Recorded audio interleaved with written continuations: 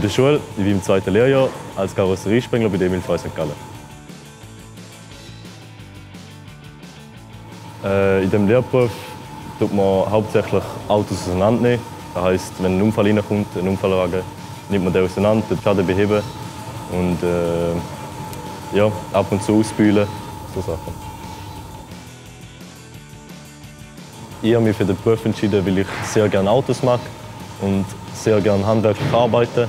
Und daher war das für mich das Optimale. Gewesen. In dem Lehrberuf sollte man äh, handwerklich begabt sein. Man sollte auch können koordiniert arbeiten oder mit dem Team können arbeiten auch. Äh, ja, und selber können Entscheidungen treffen, mache ich jetzt da oder nicht, ohne jedes Mal den Chef zu fragen.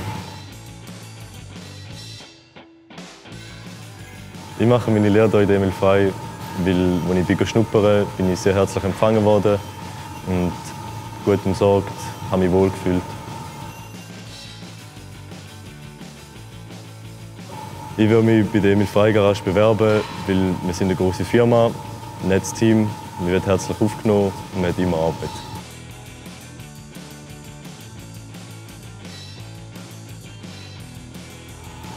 Ich bin stolz, dass ich in der kurzen Zeit, in der ich da bin, sehr viel schon lernen konnte ähm, und sehr viel auch allein arbeiten